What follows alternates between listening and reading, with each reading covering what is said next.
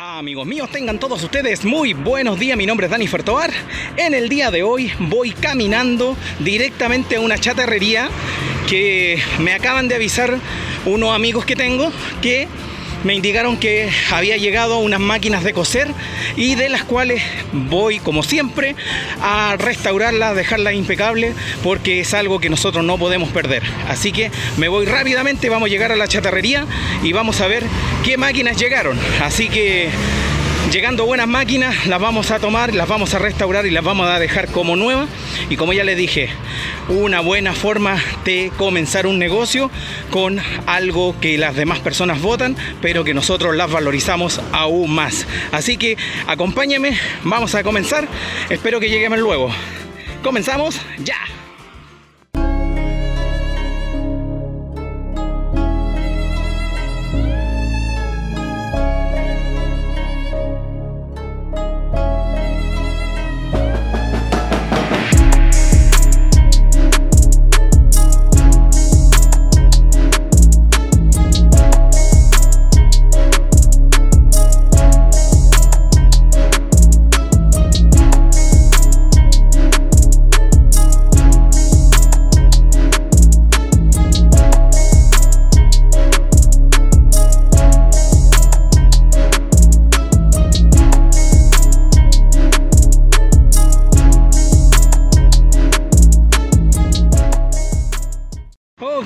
Comenzamos entonces y ya estamos llegando. Esta es la chatarrería y miren, aquí están las máquinas. Voy a verlas rápidamente. Vamos a preguntar el precio y ahí tenemos una, dos, tres, cuatro, cinco. Viene hasta con su pedalera y seis. Vamos a ver esta y esta. Son las que me interesan. Ok, les voy a contar lo que me pasó en este minuto. Acabo de llegar, comencé a revisar las máquinas. Como ya les dije, esa celeste y esa negra no alcancé ni a revisarla. Me encantaron y llegaron otras personas a comprarla. Así que tomé la celeste y la negra y le pedí a la persona que me lo guardara. Voy de inmediato a buscar el dinero porque es, es solamente cancelación en efectivo. Voy a buscar el dinero y pagamos y nos llevamos las máquinas.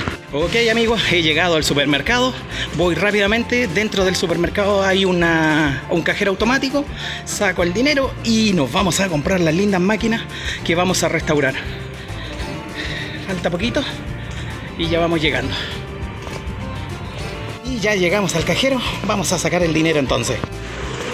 Ok, ya estamos listos. ya estamos listos, entonces ahora me voy a comprar la máquina, vamos rapidito. Una de las cosas que son interesantes es que estas máquinas en algunos lugares, en algunos países son muy caras. Acá me están cobrando 10 dólares por cada una, por cualquiera de las que elija. Voy con mi hijo, le pedí con mi señora, vamos a ir a ver si les gusta, a ver si les gusta otra máquina y nos podemos llevar dos o tres. Pero como ya les dije, 10 dólares cada una. Así que fantástico, fantástico. Ya reparándola ustedes tienen un gran negocio para hacer. Vámonos rápidamente a buscar esas lindas máquinas. Y ahí están, me llevo las dos máquinas. La, esta es una Signal, ¿ya? Y la otra es una, una Remington. Mire qué fabuloso. Podríamos habernos llevado más, como ya les dije, 10 dólares, súper barato, económico. Y aquí está el pie. De hecho, el pie para la máquina es mucho más cara que la misma máquina. Pero esto en Chile, no sé cómo será en otros países. Esto está en 30 dólares y es fabuloso. Esto le colocan un, una base de vidrio y la tienen para, para tenerlas de lujo en las casas. Yo lo encuentro fantástico. Así que nos vamos felices con mi familia a, a restaurar las máquinas. Un 7. Ok amigos míos, hemos llegado a la casa. Como pueden darse cuenta, esta es la máquina que restauramos la vez pasada. De hecho, le coloqué hasta incluso un cajoncito para guardar cosas adentro, ya para todo lo que sea costura. Y aquí tenemos nuestra Splendid funcionando. Una máquina estupenda, la dejamos impecable. De hecho, le faltaban piezas y se las fabricamos nosotros mismos. Esto, señores, es lo que uno tiene que valorizar hoy en día. La inflación no puede dañarnos a nosotros porque nosotros tenemos las manos para poder salir de cualquier problema. Recuerden amigos, esto es lo que vale la pena. Miren qué lindo. Ahora vamos a ver lo que acabamos de comprar. Miren, aquí está una máquina Remington. Una Remington. A ver si ustedes conocen de máquina. Es una muy buena máquina. Y acá tenemos una Signal que también es espectacular. Miren amigos míos. 20 dólares. 20 dólares. Les voy a contar otra cosa.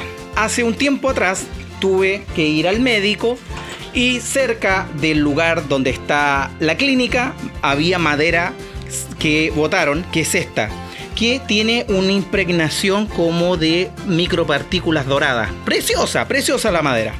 Estaba botada y yo dije, la vamos a, voy a venir en la tarde a retirarla rápidamente. Salí del médico, me fui rápidamente a buscar mi camioneta y me traje esta madera, la cual la dejé impecable y miren lo que pude hacer. Una mesa para comenzar a trabajar en costura, igual que la de acá, pero esta es para telas mayores. Miren, levanto acá y acá automáticamente se desplaza y tenemos las patitas, la cual se regula y tenemos una mesa grande para trabajar con paños y todo lo que quiera. Aquí le falta ángulo porque simplemente tengo que venir acá y regular la patita que tiene abajo. Como pueden darse cuenta, le falta altura y queda derechita. Así que acá tenemos entonces nuestras máquinas. Qué fantástico, amigos míos. Ahora vamos a hacer la restauración de cada una de ellas. Yo ya sé lo que tiene cada una. Esta está trabada, está trabada en el canal abajo y esta tiene todo acá para hacia adelante, hacia atrás y para regular también la puntada que es súper buena, súper buena. Y esta de acá es un poquitito más antigua, pero digamos en, en el trabajo le falta esta pieza que normalmente me pasa lo mismo en varias máquinas. Yo tomo esto y le hago una copia. Miren qué fantástico. A esta le falta Sí, le faltan algunas piezas que las vamos a ir viendo en otro capítulo. Este era el video. Yo sé que no es el típico que acostumbramos, pero es algo que les tenía que mostrar. Qué belleza tener esta posibilidad. Amigos míos, en Chile la gente no valoriza estas cosas hermosas.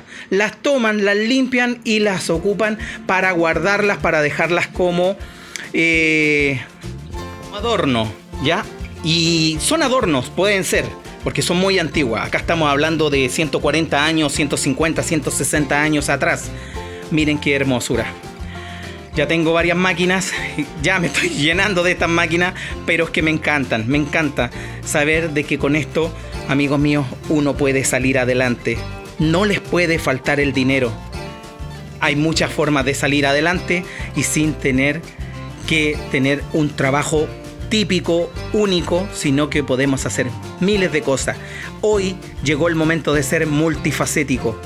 Recuerden, viene la quinta revolución y la quinta revolución es la era digital completamente en la maquinaria que ahora es autónoma. Entonces, imagínense, esto se va a perder, pero nosotros igual podemos sobrevivir con esto. Bueno, amigos míos, yo no sé qué es lo que piensan ustedes, se los dejo para que en el comentario me puedan indicar. Yo de verdad estoy contentísimo y eh, cada día, y si quiero dejarlas como adorno, las dejamos como adorno. Pero en mi caso yo pienso de manera distinta. Espero que les haya gustado amigos míos, mi nombre es Dani Fertobar y nos estamos viendo el próximo capítulo. Chao, chao, que estén bien.